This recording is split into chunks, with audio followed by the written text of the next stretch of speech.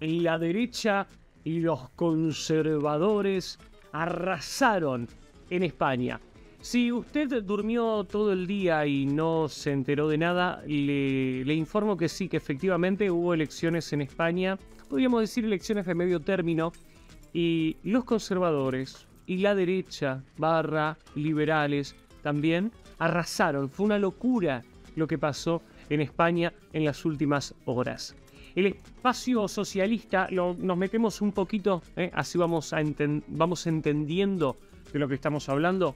El espacio socialista, Partido Socialista Obrero Español, más conocido como PSOE, seguramente si sos de Argentina lo has escuchado en algún momento, como si sos de España has escuchado esa palabra kirchnerismo. Bueno, muchas similitudes, ya vamos a hablar, tranquilo el PSOE del actual presidente de España, Pedro Sánchez, recibió un duro golpe en las elecciones de este domingo donde se votaron las municipales y las autonómicas.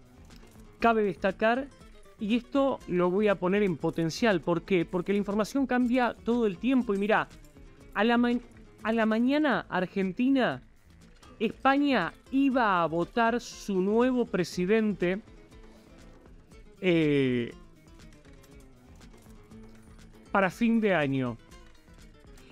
Ante la derrota, Pedro Sánchez, ¿qué hizo? Adelantó las próximas elecciones para el 23 de julio. Ya vamos a hablar de eso también.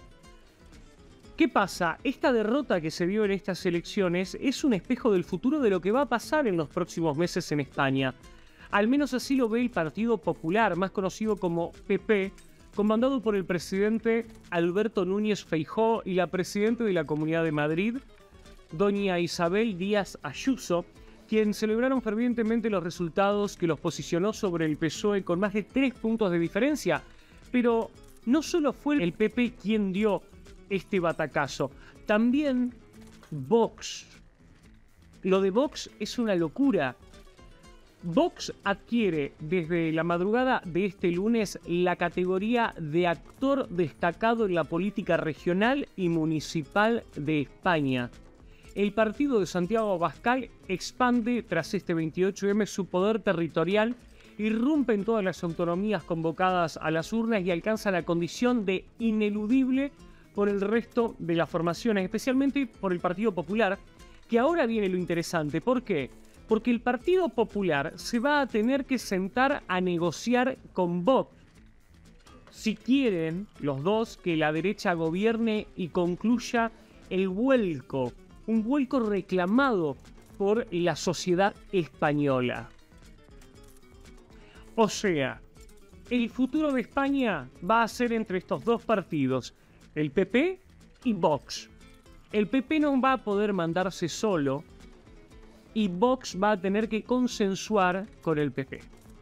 ¿Mm?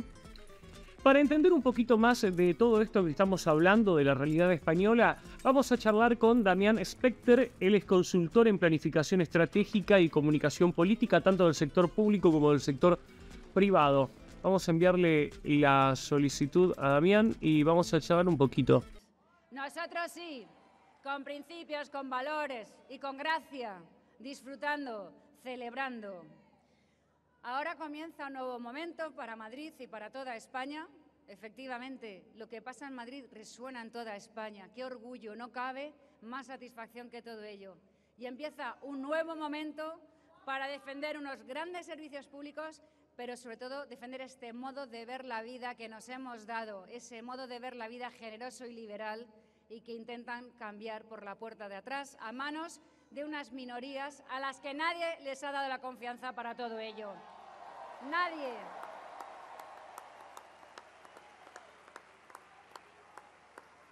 La próxima vez que quieran transformar España, que lo pongan en un programa electoral.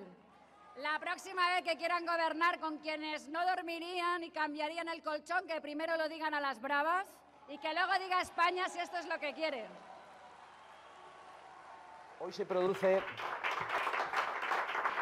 sin ninguna duda, la consolidación del proyecto político de Vox como proyecto nacional, como proyecto nacional que poco a poco está llegando al último rincón de España. Al principio, en los parlamentos nacionales, pero poco a poco en los parlamentos regionales, en los ayuntamientos y hasta las más pequeñas pedanías. Pero no solo se produce la consolidación de Vox como, partido con discurso nacional, no, como único partido con discurso nacional, sino que se produce la consolidación del papel de Vox como partido absolutamente necesario para construir la alternativa al socialismo, al comunismo y a sus socios separatistas y sus socios terroristas. ¿Cómo estás, Damián? Bueno, primero que nada agradecerte por tomarte el tiempo para hacer este pequeño vivo, para aclarar un par de dudas. Sos un... Primero, estás metido en el mundo político, y en el mundo privado, y además conoces mucho de España, has trabajado muchísimo en España, estás trabajando allá. Entonces, queremos preguntarte, queremos saber. Eh, bueno, este, nada, lo de ayer fue, fue realmente algo eh, impactante para el mundo hispanoamericano, ¿no? Porque España sigue teniendo muchísima influencia en todo lo que es Hispanoamérica no solo desde el punto de vista político, sino cultural, empresarial, y la conexión que tenemos eh, con, con, España es eh, absoluta, inclusive filial, digamos, por, por, pero no solo por nuestros antepasados, en mi caso no tengo nada de sangre española, este, más italiana, eh, pero, pero bueno, nuestros hijos se van, mi hermano se acaba de ir a vivir, a ir a vivir allá y por todo lo que está pasando en Argentina. Sin embargo, España es como un espejo, ¿no? Pero. Bueno, e, eso te quería preguntar. Primero, eh, hay muchos amigos que están del otro lado y que dicen, bueno, sí, hay cosas que yo escucho de España, que la izquierda, que esto, que el otro. ¿Cómo llega España a esta decadencia económica, política y social?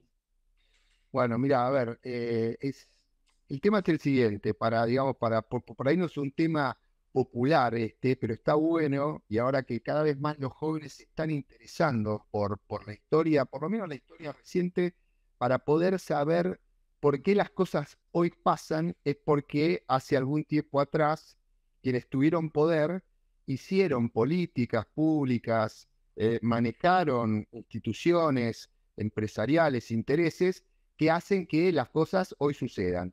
Esto tiene que ver después también con la imposición de la cultura a través de la educación, a través de los medios de comunicación, de la academia, de los colegios, de las universidades, donde se va imponiendo un uso y costumbre. Para, para hacerla resumido, España, eh, después de una guerra civil que fue en los años 30, donde, este, digamos, gente de izquierda y gente de derecha, la gente de izquierda que gobernaba en una república, empezó a hacer una especie de populismo muy fuerte, empezó a encarcelar, empezó a inclusive a matar a opositores, eh, y es así que hubo del otro bando un grupo que se rebeló y comenzó la Guerra Civil Española. La Guerra Civil Española la, gana lo que se llama el bando nacional, es decir, el bando, entre comillas, que era de derecha, no de izquierda, y durante muchísimos años, hasta el año 75 que muere Franco, es Franco quien había liderado esa, esa revolución en contra de esta izquierda que también era revolucionaria y era se llamaba república, pero era una especie de dictadura, eh, a la muerte de Franco empieza este, este momento de transición en España, lo que el mundo, a, veces algunos conocen el pacto de la Moncloa. La Moncloa es como si fuese nuestra Casa Rosada, es el palacio donde vive el presidente de España, donde vive y donde eh, trabaja todos los días, ¿no?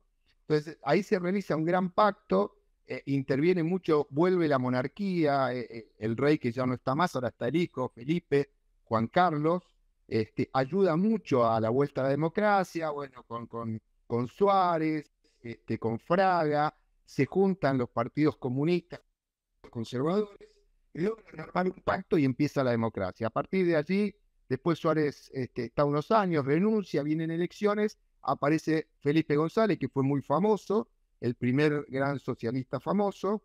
Felipe González está mucho tiempo en el poder, este, desde el año 92, eh, hasta que después viene Aznar.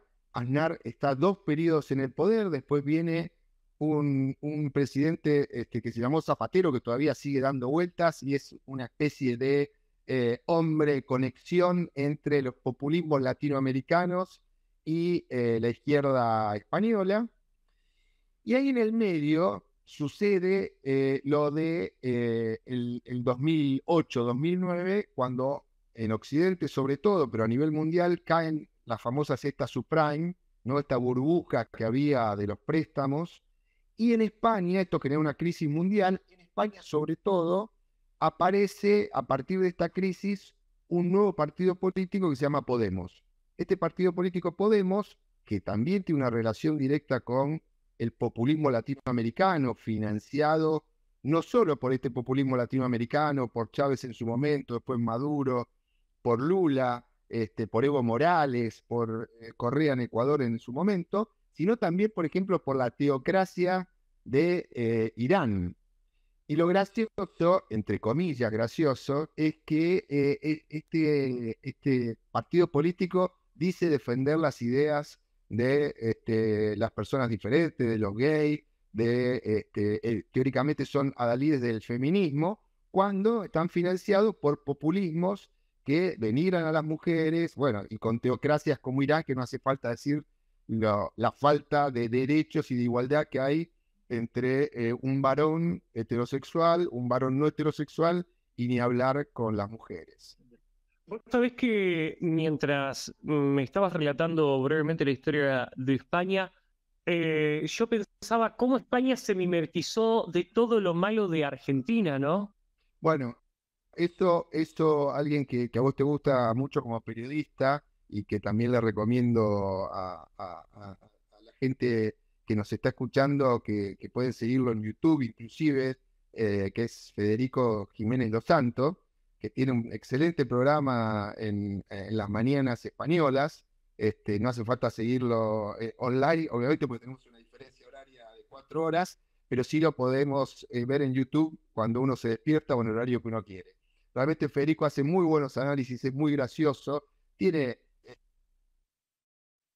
un, estilo joven de, Federico Jiménez Los Santos en Argentina, digamos, sería nuestro Federico Jiménez Los Santos, Eduardo.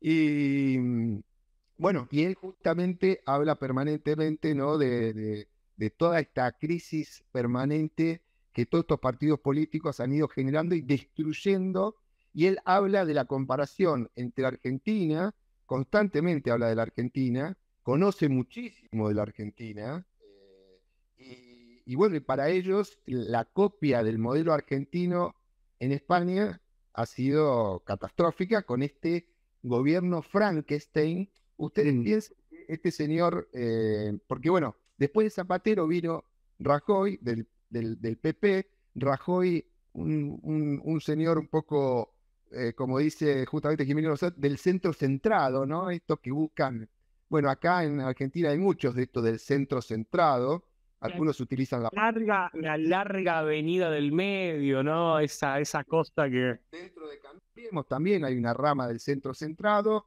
y una rama realmente que quiere generar cambios desde mi punto de vista. Son dos ramas para mí que tienen dos modelos totalmente diferentes. Desde ya a mí me gusta el modelo, y lo puedo decir, de Patricia Bullrich, este, me parece que es el modelo que está imponiendo un cambio en la Argentina.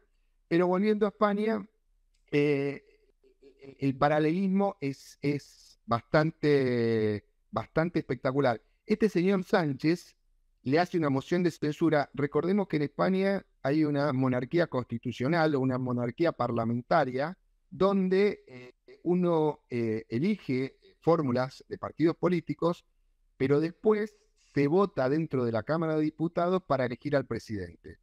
Generalmente no llegan con mayorías absolutas y tienen que ser acuerdos entre partidos. Este señor Sánchez, que es el actual presidente de España, del cual ahora seguramente vamos a hablar, que es el que perdió estrepitosamente eh, ayer, día domingo, eh, lo que fundamentalmente hizo es un gran mentiroso, es un gran cínico y un gran mentiroso. Están los videos donde este señor 24 horas antes del día de las elecciones, salía a decir en los medios de comunicación, y más decía, ¿qué te lo tengo que repetir cinco veces? Jamás voy a negociar con Podemos. no podría dormir a la noche si negocio con Podemos. Jamás voy a negociar con los Bildoetarra. También hay que entender que estuvo la ETA, cuando la ETA eh, eh, termina, entre comillas, o deja de matar gente y de raptar gente y de torturar gente, pasan a la parte política a través de un partido político que se llama Bildu. Este, bueno, jamás negociaré con los Bildoetarra, que son los del País Vasco, que también están ahora en Navarra, y jamás negociaré con los separatistas catalanes, que también ahora están en Valencia y también están en Mallorca. Bueno, ¿qué hizo el señor Sánchez para conformar gobierno? Negoció con todos ellos. O sea, un, un, un perverso, un, un... Vos sabés que te consulto porque vos también estás eh, muy ligado a la política española, eh, repito, eh, para aquellos que no conocen el trabajo de Damián, ha trabajado en varios países, pero sobre todo en España, con el tema comunicación y política. Hay muchas similitudes en los últimos años de la decadencia de España como país y como institución, las instituciones españolas, con lo que ocurre en la República Argentina. Digamos, Pedro Sánchez podríamos catalogarlo como, en muchos aspectos, un Alberto Fernández. Eh, mira, eh, eh, lamentablemente, no sé lamentablemente para quién, digamos, Sánchez es, es un tipo brillante para el mal, cosa que no podría decir lo mismo yo de Alberto Fernández, pero em, digamos que Sánchez es un tipo mucho más talentoso, es un tipo donde el fin justifica los medios, es un tipo aparte lo acompaña el physique du rol. Eh, claro. o sea, sería más un cristinista, podríamos, de la época 2013-2014 de Cristina, una cosa así. Una, una, una, Cristina, una Cristina joven, versión hombre. Este, eh, sí, podría ser, digamos, una, una, una versión de Cristina joven, versión hombre. El tipo, y después, bueno, se asoció con este Pablo Iglesias, que era el, digamos, el presidente de Podemos, de este partido de ultra izquierda, pero donde... Que sería acá un Nicolás del Caño.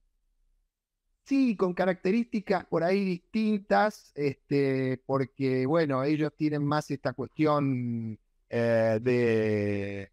Eh, están más eh, ideologizados, no tanto desde el punto de vista de los sindicatos o de, o de la toma de la calle, sino que este, están más este, más desde la ideología progresista, pero de la ultra, muy atado a esto de la Agenda 2030, muy atado a que eh, el hombre quiere destruir el clima, que los empresarios destruyen, este, destruyen el medio ambiente, entonces hay que cerrar todas las empresas con el objetivo que el Estado sea el que genere una especie de ingreso único básico universal, todos seamos esclavos del Estado. Estoy exagerando lo que digo para que se entienda, ¿no? Claro. Eh, ¿Por qué España entregó en los últimos, podríamos decir, 10 años, sino un poquito más?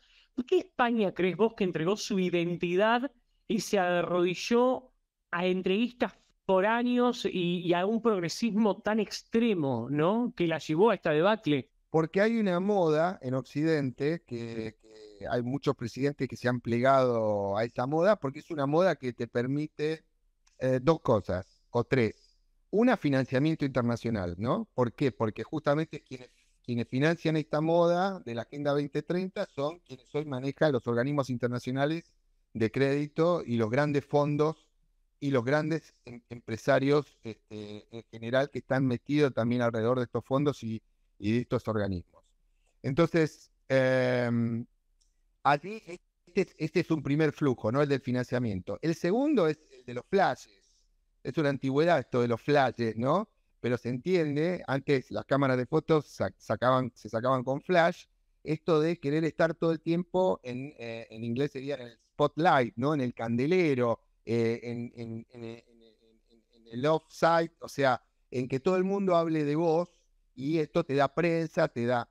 Y lo tercero es que te ubica en lo políticamente correcto. Y como lo políticamente correcto es este mundo del buenismo, del ofendidismo, eh, el otro día leí una frase tan interesante como que vamos a eh, tener que cuidarnos tanto de no ofender a nadie que va a llegar un momento donde eh, todos nos vamos a convertir prácticamente en retrasados, porque si uno no puede dar una opinión porque cree que puede ofender al otro, o cualquiera cuando uno da una opinión contraria a la que el otro piensa se siente ofendido, terminamos atrofiándonos sin poder dialogar y bueno, y todo se hace mediocre.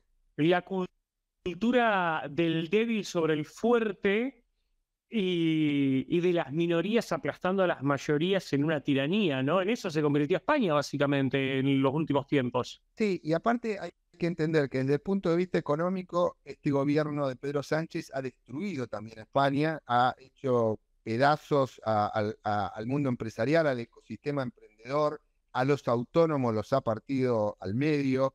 Em, han aprovechado la excusa de esta pandemia como para este, eh, generar un montón de subsidios que obviamente por eso están, están promoviéndose eh, factores inflacionarios en España, pero a su vez endeudó a España como nunca jamás en la historia desde un punto de vista este, eh, real, es decir, este, no nominal, sino real. con lo cual, eh, desde el punto de vista económico ha hecho desastre. Ahora, desde el punto de vista cultural, a partir de las leyes que sacó, también fue un desastre. Sacó una ley trans donde chicos este, a partir de los 12 años pueden decidir sin la autorización de los padres cambiarse de sexo. Eh, es decir, eh, otra ley que es la del solo sí es sí, que generó que salgan un montón de violadores a la calle y todo esto sacado de este ministerio que yo le llamo el Ministerio de Desigualdad, que en España se llama el Ministerio de Igualdad, ¿no? Como en Argentina el Ministerio de Seguridad debería llamarse de Inseguridad. Pero bueno, eh, es decir, han sacado un paquete, han sacado leyes que se llaman de memoria histórica y de memoria democrática, donde eh, en los colegios adoctrinan mostrando solo una parte de la historia. Bueno, esto en Argentina también de alguna u otra manera ha ido sucediendo con el tiempo, ¿no? No se cuenta la historia eh, mostrando realmente las caras negativas y las caras positivas. Te escucho. Este, sí. Entrando a la cuestión electoral, hoy con estos números que tenemos en España, ¿podemos hablar de un acercamiento, de un gran pacto entre Vox y el PP? Eh, a ver, primero te paso algunos números y, le refuerzo, digamos, a, a quienes nos escuchan para que tengan idea. Vos hablaste municipales, y eh, este, comunales. Digamos, eh, para que la gente entienda, allá las comunidades son como acá las provincias, ¿no? Es decir, Isabel Díaz Ayuso, que arrasó y que ya venía arrasando y que, ah, digamos, en Argentina se la compara a Patricia Bullrich con Isabel Díaz Ayuso por características similares, de coraje, de empatía con la gente, de tomar decisiones, aunque sean políticamente incorrectas, pero a su vez de tener una estructura, de tener una, una una experiencia de vida, una, un equilibrio emocional que te permita llevar adelante esas ideas, porque también hay mucha gente por ahí este, que plantea ideas disruptivas, pero tal vez no tiene ni la estructura ni está parado en, una experiencia de vida que le permite después ejecutar eso. Bueno, Isabel arrasó. Eh, Isabel dentro del PP, del Partido Popular, que sería una especie de cambiemos acá, voy haciendo las comparaciones con Argentina, eh, sería, digamos, como una, una Patricia Bullrich. ¿Quién es el presidente del, Partido Popular hoy, que viene de Galicia, de haber sido presidente? Allá se llaman presidentes en las comunas, eh, en las comunidades, que eh, serían de nuevo gobernadores, pero ya se llama el, presidente de la comunidad de Galicia, de Cataluña, del País Vasco, bueno, de, la comunidad de Madrid, que es Isabel. Él venía de Galicia, se llama Núñez Feijóo, y es una especie más de la reta, ¿no? Busca más esta cuestión del diálogo, del de, centro centrado, ¿no? Este, bueno, se, pliega un poquito más a estas cuestiones de la Agenda 2030 y demás. Em, hay, depende, de, entonces, las alcaldías y, y, que serían las ciudades en Argentina y las comunidades que serían las provincias. El PP arrasó en general, sacó casi el 42% de los votos, el PSOE, que lo sigue muy por abajo, sacó la mitad, el 21%. Este, Vox sacó cerca del 10%, o sea, la verdad, Vox se mantuvo bastante bien. Eh, y Podemos sacó el 1%, o sea, Podemos Podemos, podemos decir que está a punto de desaparecer si es que ya no desapareció. Justamente esto ha hecho como, recordemos que Podemos de este 1% y el PSOE de este 21% conforman un 22, un 23% del total de los votos y casi el 42 con el 10, sería casi un 52% de los votos los concentró eh, en porcentaje entre Vox y, el PP, hace que Sánchez hoy a la mañana, a través del el BOE, que es el, boletín oficial del Estado, se llama así BOE, eh, haya sacado una resolución diciendo de que va a adelantar las elecciones, que es un poco lo que contabas vos en la introducción. Bueno, e, esa es mi pregunta.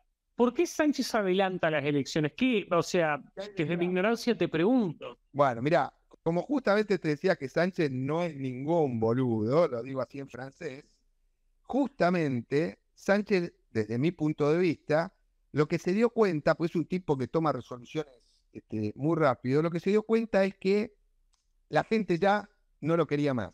También se dio cuenta que el gobierno de él fue un desastre absoluto y como también pasa en la Argentina, los populismos de izquierda destruyen el Estado, dicen que son los defensores del Estado, ¿no? Esto que te quiebran las piernas, después te quieren dar la muleta y te las cobran, después te las sacan aparte, porque dicen que en realidad no eran tuyas. Bueno, este, y entonces, ¿qué, qué, qué, pasa en este fenómeno? Lo que, lo que está sucediendo es que Sánchez se dio cuenta de que la gente no lo quiere más y por el otro lado de que su gobierno es un desastre que se va a sentir más cómodo en la oposición que gobernando. Pero a su vez se quiere sacar de encima y terminar de pegar el batacato final a Podemos. O sea, él es el guillotinador final de Podemos. Entonces él no quiere que Podemos se rearme de acá a fin de año, no le quiere dar esa oportunidad porque está viendo que está muerto ahora y Podemos, como, como todos ya sabemos que la gente Fíjense cuando se cayó la, Unión de Repúblicas Socialistas Soviéticas, Occidente se relajó y dijo, se terminó el comunismo. No se terminó el comunismo, se reinventó y vino reforzado. Entonces, Sánchez sabe esas cosas y no va a permitir que eso suceda. Es más inteligente que, la gente liberal, conservadora y de centro derecha. Y él se va a encargar de eliminar a Podemos. Entonces, adelanta las elecciones. Él sabe que va a perder o que tiene una, una gran posibilidad de no ganar, vamos a poner estos términos, pero sabe que con esto liquida Podemos.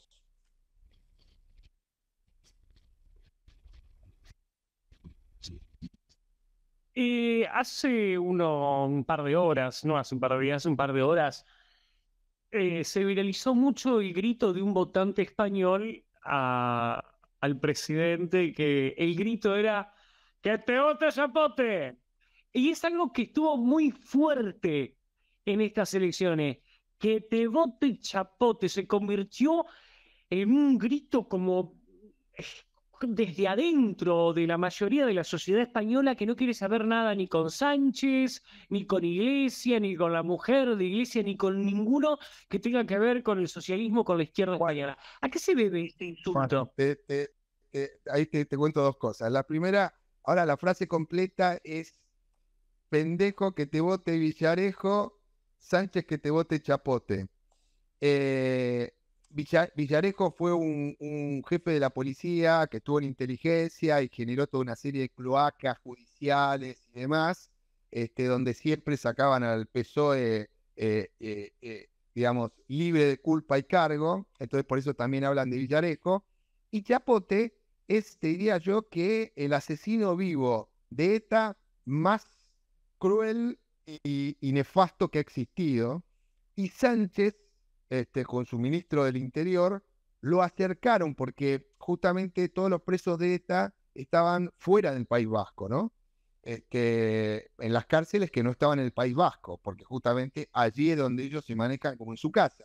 Bueno, Sánchez, como había dicho yo anteriormente, para formar gobierno negoció con los nacionalistas catalanes y con los Bilduetarra de los Países Vascos, eh, lo que hizo fue acercar a todos los presos políticos, eh, políticos no por política, sino por asesinatos. Tiene ocho, si no recuerdo mal, ocho asesinatos directos más un montón de eh, participación en asesinatos de manera indirecta, secuestros, este señor Chapote, Sánchez lo, acercó al, País Vasco. Por eso la gente popularmente le dice últimamente que te vote Chapote.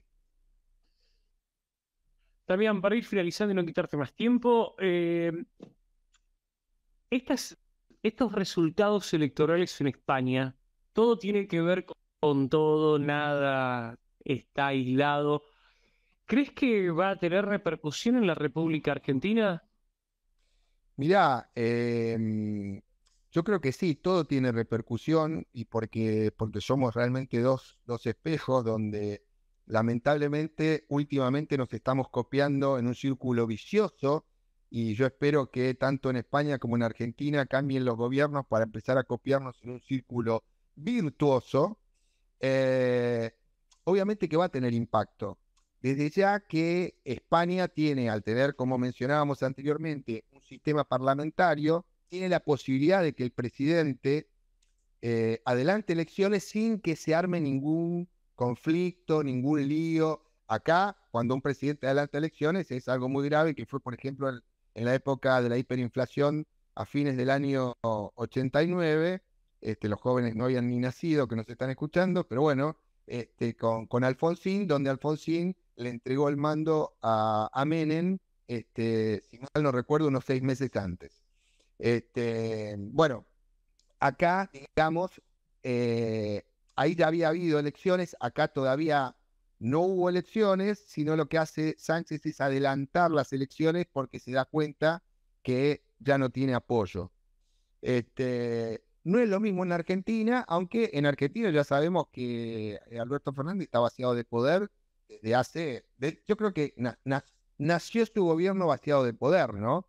Y que este, la, la, pandemia lo puso más en evidencia y después las guerras intestinas que tienen este, entre ellos aún más en evidencia. Eh, pero bueno, no, no creo que repercuta de manera directa, ¿no? Sí va a generar ciertos movimientos, aceleración de ciertas cuestiones, y lo que refleja es que estos populismos de cuarta, berretas, eh, que tenemos en Latinoamérica, que dicen defender a los pobres y viven de los pobres, que dicen cuidar al Estado y los servicios públicos y que en realidad es tener servicios públicos de bajísima calidad, eh, que le mienten a la gente diciendo que hay que controlar los precios cuando lo único que hacemos cuando controlan los precios es hacer que la mercadería o los servicios desaparezcan, hacen al mercado negro y entonces así sea más costoso todavía de ubicarlos o de, o de menor calidad inclusive y o de menor calidad eh, y no entendiendo de que en todo caso para ciertas crisis vos lo que puedes hacer en todo caso es subsidiar a la gente pero no limitar el costo de las cosas porque las cosas tienen un precio que los empresarios no lo ponen porque si les da la gana, son malos, sino porque, a, pesar de que quieren tener una rentabilidad, hay unas cuestiones lógicas porque hay competencia. Si el empresario pone un precio demasiado alto, tampoco nadie le compra.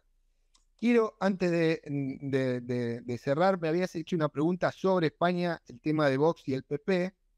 En algunas comunidades y en algunas alcaldías van a tener que seguramente trabajar en equipo porque no tiene mayoría absoluta el PP, con lo cual va a tener que eh, trabajar junto con Vox. Y yo creo que esto le va a hacer muy bien al PP porque eh, Vox le va a poner un poquito de, sal y pimienta. Este, así que yo creo que esto va a estar bueno. No así en eh, comunidades como la de justamente la de Isabel Díaz Ayuso, la comunidad de Madrid, donde arrasó y tiene mayoría absoluta, y donde aparte Vox cometió un error, que fue pegarle mucho a Isabel Díaz Ayuso, eh, con argumentos para ellos válidos, eh, de acuerdos que según ellos no se cumplían, pero le pegaron mucho realmente a la que hoy es la figura más importante de España, por lejos, Isabel Díaz Ayuso, inclusive a nivel internacional. Eh, y bueno, nada, entonces, sinceramente, pegarle a una mujer que tiene una gestión espectacular y que tiene una empatía con la gente y que tiene resultados súper positivos y que piensa bastante parecido a Vox, aunque no exactamente igual, eh, bueno, evidentemente por los resultados electorales fue un error. Para finalizar, Damián, ¿el futuro de España es... Complete la frase. Yo creo que el futuro de España es, eh, em, desde el punto de vista político, eh, muy bueno y muy interesante porque va a haber un cambio de época.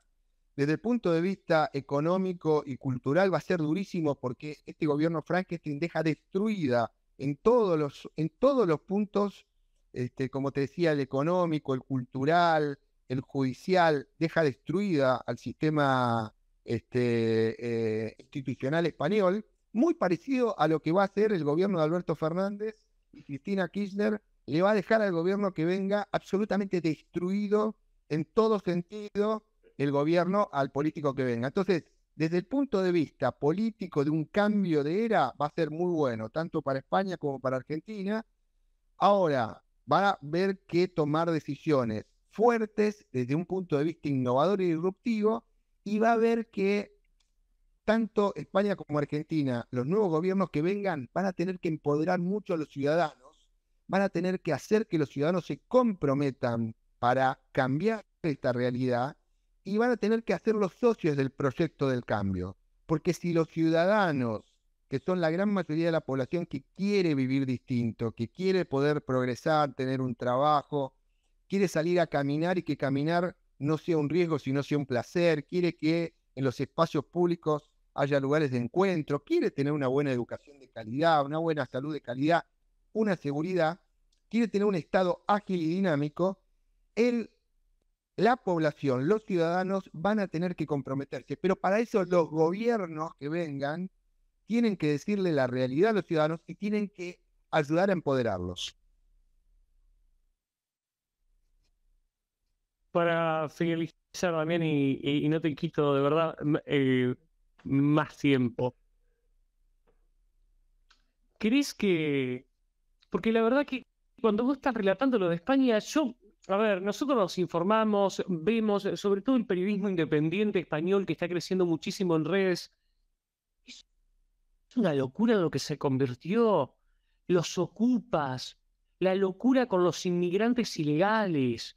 O sea, es el calco de la República Argentina. Acá tenemos un ser despreciable como Grabois tomando propiedades privadas, un sector político que avala eso. En España tenés también inmigrantes, bueno, perdón, eh, lo voy a decir y si alguno se ofende me importa un carajo. Acá tenés la mayoría, no todos, pero sí la mayoría de inmigrantes de países limítrofes viviendo en villas, en grandes urbes como la ciudad autónoma de Buenos Aires, que, que, están metidos en villas, que toman terrenos, pasó ahora en Mar del Plata, etcétera. Podríamos hablar media hora de esto. Y en España ocurre lo mismo.